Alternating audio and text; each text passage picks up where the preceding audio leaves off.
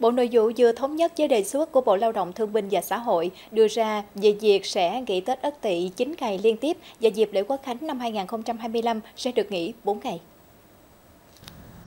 Theo đó, nghỉ Tết âm lịch Ất Tỵ năm 2025, Bộ Nội vụ thống nhất phương án cán bộ công chức viên chức được nghỉ 9 ngày từ ngày 25 tháng 1 đến hết ngày 2 tháng 2 năm 2025, tức ngày 26 tháng Chạp năm Giáp Thìn đến hết ngày mùng 5 tháng Giêng năm Ất Tỵ. Còn dịp lễ ngày 30 tháng 4 và ngày 1 tháng 5 năm 2025, cán bộ công chức viên chức được nghỉ 5 ngày từ ngày 30 tháng 4 đến hết ngày 4 tháng 5 năm 2025, hoán đổi ngày làm việc thứ 6, ngày 2 tháng 5 sang thứ 7 26 tháng 4 năm 2025. Tại Việt Nam, người lao động được nghỉ tổng cộng 11 ngày nghỉ lễ Tết chính thức hưởng nguyên lương. Cụ thể gồm Tết Dương lịch 1 ngày, Tết âm lịch 5 ngày, Dỗ Tổ Hùng Dương 10 tháng 3 âm lịch 1 ngày, ngày chiến thắng 30 tháng 4 1 ngày, Quốc tế lao động 1 tháng 5 1 ngày và Quốc khánh 2 tháng 9 2 ngày.